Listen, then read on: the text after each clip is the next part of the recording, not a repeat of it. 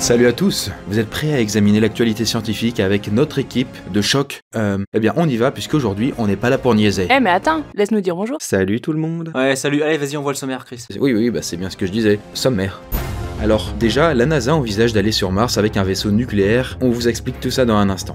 Ensuite, pour celles qui ont ou qui vont souffrir durant l'accouchement, eh bien c'est de la faute de l'évolution. Oui parce que dans le passé, apparemment c'était plus simple. Puis il y a un super test sanguin qui permettra de détecter tous les cancers avec une énorme fiabilité, et ouais mon gars. Et puis là vous nous reprocherez plus de nous focaliser que sur le négatif puisque on finira avec un tétraplégique qui a réussi à contrôler un exosquelette par la pensée. Bref, si avec l'astrolabe ça vous fait souvent déprimer, eh bien nous sommes aussi parfois la goutte d'espoir qui vous empêche de vous noyer dans cet océan de désolation. Et Bon, c'est fini les conneries? Non, désolé de t'interrompre dans ton envolée lyrique, mais t'avais dit qu'on n'était pas là pour niaiser, donc... euh, Ouais, t'as raison, du coup générique.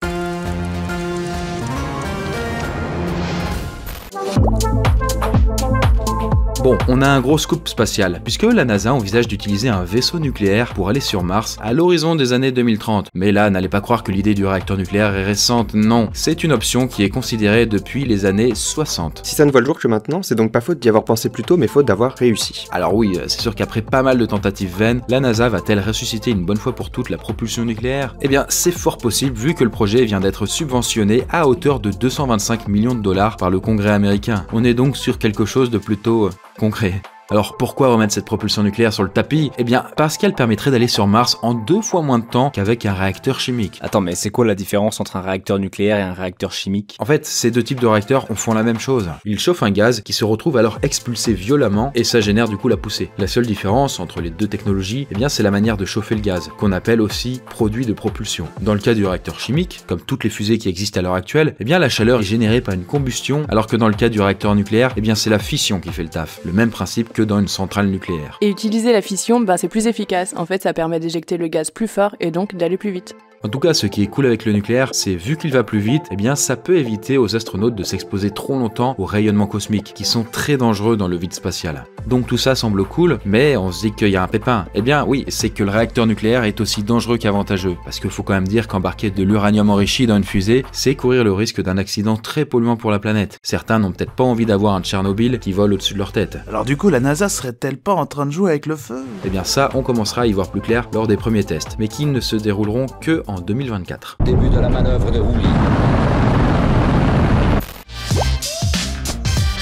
Vous le savez sûrement déjà, les adblockers sont des extensions de navigateurs internet qui servent à bloquer les publicités et qui passablement aussi ruinent les maigres revenus générés par les youtubeurs. Mais bon, après on va pas non plus se plaindre parce que j'en utilise moi-même. Bref, Ah bah bravo, monsieur Tu ferais comment si tout le monde faisait comme toi?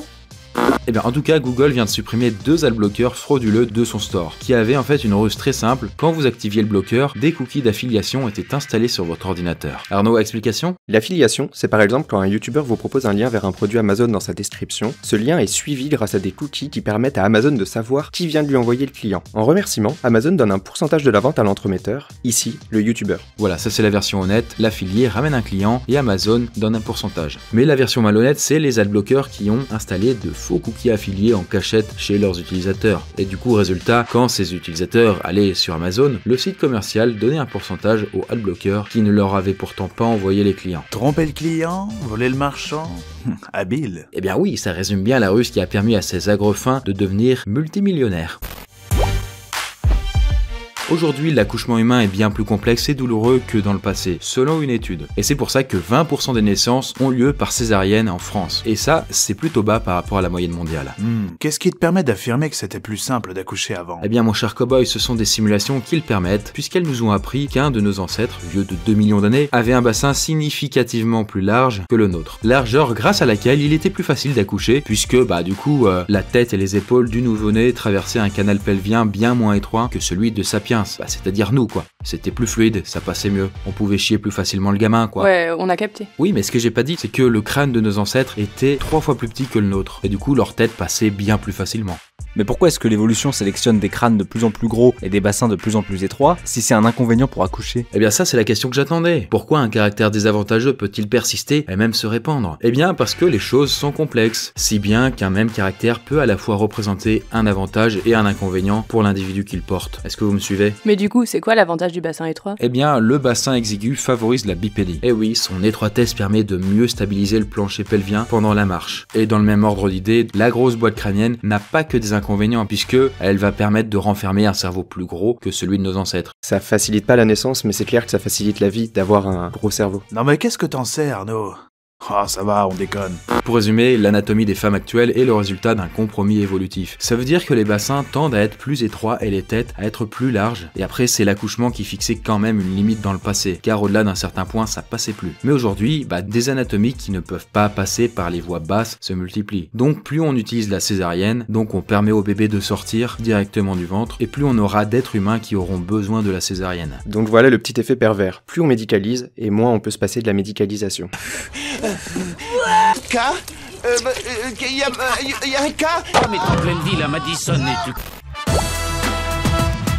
Il n'y a pas grand chose de plus dégueulasse qu'une poignée de porte, ce qui est logique quand on sait que plus de 80% des microbes sont transmis par les mains. C'est donc un vrai problème de société auquel des étudiants chinois viennent de trouver une solution originale, des poignées de porte auto-nettoyantes. Bon, attention par contre, le fonctionnement est technique. hein. La poignée est recouverte d'un mince revêtement photocatalytique, c'est-à-dire que ce revêtement réagit chimiquement à des ultraviolets produits dans la poignée pour éliminer les germes. Et ce qui est malin, c'est que la poignée emmagasine l'énergie des mouvements d'ouverture pour alimenter le générateur d'UV. Ouais, le fonctionnement est chimique, mais sans utilisation de produits synthétiques. Là, ce sont les UV qui font le travail. Puis ici, en plus de ça, ça fait bronzer les mains, c'est top.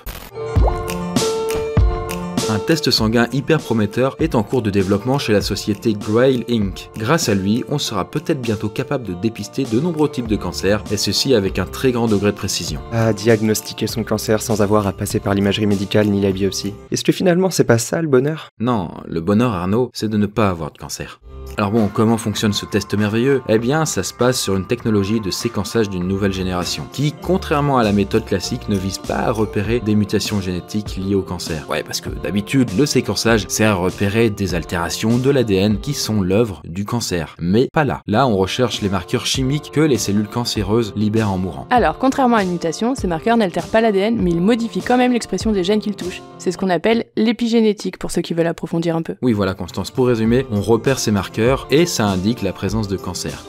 En tout cas, notre enthousiasme n'est pas gratuit puisque selon les premières expériences réalisées, sur plus de 3600 échantillons sanguins, le test est fiable à quand même plus de 99%. Et c'est pas tout, le test permet même de savoir quel organe est touché. Oh, incroyable Non, ce n'est pas incroyable, c'est la science. À noter que sa fiabilité augmente avec la gravité du cancer. Donc, les stades 1 du cancer passeront peut-être un peu entre les mailles du filet, mais c'est quand même très prometteur, dans le sens où ça permettra sûrement de dépister certains cancers plus précocement, et ainsi de sauver pas mal de vies. Enfin, on espère. Vous avez compris ce que je vous ai dit Oui Cancer du poumon, inopérable.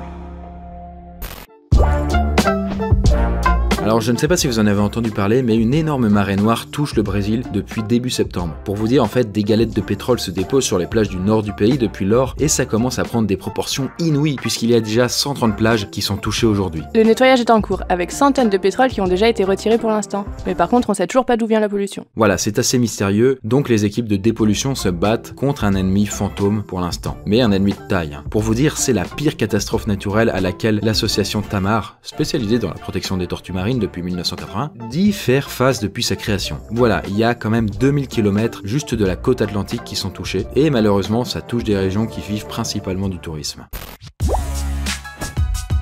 C'est une révolution médicale puisque un patient tétraplégique a contrôlé un exosquelette à quatre membres par la pensée, et ce grâce à des implants cérébraux. Et le complexe implantable que le patient tétraplégique a reçu s'appelle Wimagine, qui a été développé dix années durant par une brillante équipe de chercheurs grenoblois. Je salue d'ailleurs les grenoblois pour y avoir vécu quelques années. On s'en branle, mais donc le mec contrôle une sorte d'armure bionique par la pensée? Stylé. Ah, ça c'est une bonne nouvelle pour les tétraplégiques ultra fortunés. L'avenir vous sourit peut-être. Bon, pour comprendre le fonctionnement, faut savoir que tous nos mouvements sont commandés à nos muscles par notre cerveau, et ce via des signaux électriques qui sont acheminés via les nerfs. Dans le cas des tétraplégiques, la communication nerveuse entre le cerveau et les muscles est rompue, et malheureusement, on ne sait pas la restaurer. Mais on peut contourner le problème en remplaçant la force motrice musculaire par la force motrice de l'exosquelette, et aussi en remplaçant le vecteur du système nerveux humain par le système Wimagine. Voilà, concrètement, l'implant enregistre les signaux envoyés par le complexe moteur du cerveau pour les traduire ensuite en mouvements qui sont ordonnés à l'exosquelette. Et si aujourd'hui ça fonctionne, c'est aussi grâce au volontariat d'un patient de 28 ans. D'ailleurs, il est plutôt beau gosse, hein, mais quand même moins que moi. Pas vrai, Constance? Oui, euh, bien sûr. Ouais, c'est pas le sujet. Du coup, le jeune homme s'est vu implanter le dispositif composé de 128 électrodes pour qu'il puisse s'entraîner chez lui à faire bouger des formes sur son ordinateur, par la pensée en fait. Et ses efforts n'ont pas été vains puisqu'il a aujourd'hui la dextérité suffisante pour contrôler l'exosquelette. Alors évidemment, hein, la technologie aura encore besoin de beaucoup de perfectionnement pour rendre leur pleine autonomie aux tétraplégiques, mais on vient de faire un grand pas de plus vers ce fameux transhumanisme. Là où la technologie et l'humain fusionneraient pour créer, euh, bah, par exemple, des cyborgs. Hein. Comme moi, qui suis bien plus abouti que cet exosquelette de pacotille. Ah ouais, que de fantasmes autour de cette news.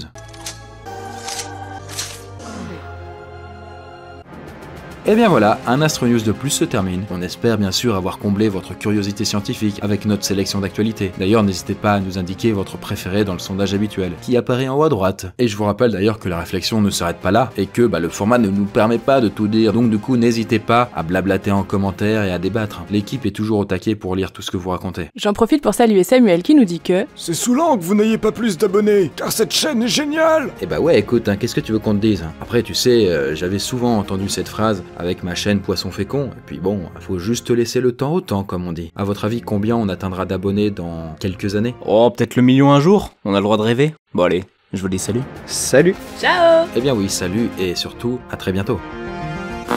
Et si aujourd'hui ça fonctionne, c'est aussi grâce au volontariat d'un patient de 28 ans, plutôt beau gosse au demeurant. Quoi?